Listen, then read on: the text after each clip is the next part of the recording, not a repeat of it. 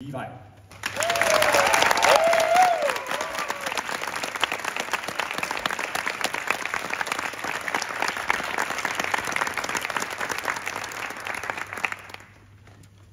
I Filippinerne kan to, to personer af samme køn ikke blive gift. I Indien kan du ikke få juridisk kønsskifte. Og i Rusland, ja, der kan du blive anholdt for at snakke om queer-identitet. Det ved jeg, fordi jeg som matros har været ude at sejle med folk fra Filippinerne, Indien og Rusland.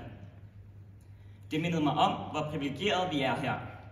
Men det fik mig også til at stille spørgsmålstegn ved, hvorfor jeg så stadig føler, det er svært at være queer person her i Danmark. Et land, hvor jeg har lovgivningen på min side i så mange henseender. Jeg vil godt kunne blive gift af en med samme køn.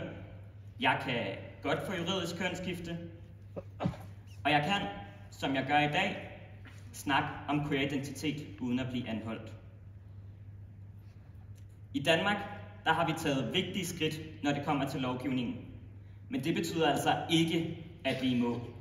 Og det bliver vi simpelthen nødt til at anerkende. En ny rapport viser, at LGBT plus elever mistrives i langt højere grad end deres kammerater. Mistrivselen den er så stor, at jeg hurtigt kunne skrive en hel tale om det. Men det vælger jeg ikke at gøre. Men hvorfor er mistrivselen så så stor? Ja, det er der nok ikke rigtig et entydigt svar på. For mig personligt, så er det alle mikroaggressionerne, jeg oplever hver eneste dag. Det skaber unødvendig minoritetsstress. Men hvad er minoritetsstress egentlig? Minoritetsstress er, når jeg bliver spurgt af en næsten fremmed, om jeg selv kan vælge, hvor stor min penis den skal være, når jeg får operationen. En operation, der for øvrigt i Danmark er flere års ventetid til, og kun få bliver tilbudt. Men behandlingen af LGBT plus personer i det danske sundhedssystem er igen en helt anden tale. Minoritetsstress er, når jeg midt i en dansk team bliver spurgt, Levi, bruger du egentlig strap når du har sex? Kan jeg vide, om det var første gang, nogen i en tale i operan bruger ordet strap -on. Minoritetsstress er, når jeg bliver skubbet ud af skabet, fordi mit juridiske køn kommer offentligt til skue på min arbejdsplads, og jeg dermed mister retten til at fortælle min egen historie. Minoritetsstress er, når jeg bliver gjort, gjort til noget eksotisk på grund af min kønsidentitet. Det giver mig følelsen, følelsen af at være det hæslige nye dyr i suge, som folk prikker til med en pind og spørger, hvad kan den? Jeg kunne blive ved og ved med at fortælle anekdoter fra min hverdag som åben transperson. Men jeg tror, jeg har forstået pointen. Så her kommer mine tre bud på, hvad vi kan gøre.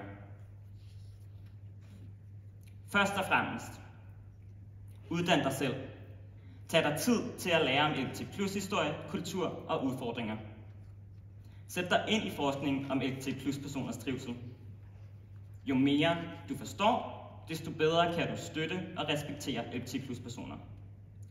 Og lyt, når queer personer fortæller om deres udfordringer. Og når du lytter, så drop forresten din whataboutism, hvor du fortæller, at folk har det meget værre i andre lande. Selvfølgelig lidt modsat, hvad jeg har gang i lige nu, men det er også min pointe. 2. Når du så har uddannet dig selv, så del din viden. Dette kan hjælpe med at nedbryde fordomme og skabe en mere åben samtale. Og til sidst, og måske allervigtigst, så stå op imod diskrimination. Vær ikke bange for at handle, hvis du ser eller hører diskrimination.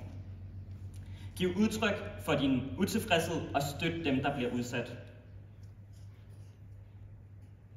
Jeg kunne nævne mange flere steps, men hvis du følger det første step med at uddanne dig selv, ja, så finder du nok selv resten.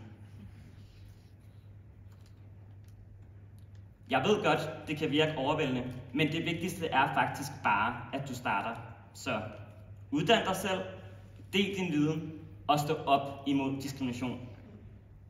Hvis du følger dette, så kommer viden, åbenhed og tolerance til at sprede sig som ringe i vandet. De små ting, jeg nævner, kan måske virke som ligegyldige, når vi sammenligner med de ting, jeg oplevede under mine tre måneder til søs.